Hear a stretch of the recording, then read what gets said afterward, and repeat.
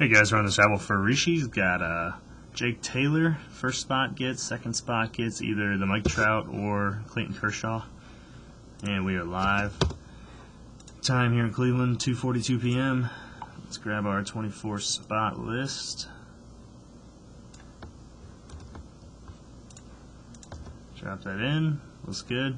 Dice needs to be more than a five. And we're gonna go six times. Nice and easy. Good luck. One two, three, four, five. Alright, that's five times. Dice roll mandates a six. Next click, we'll have two winners. Six. Spot number 10, 19, John Nolt. I have never called that name before, so that's totally new. Congratulations, you got the Jake Taylor. Spot number 10, Ron Avenue.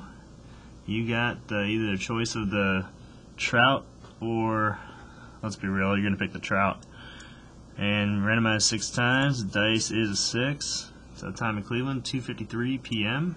We are done at 2.53 Eastern. Thanks.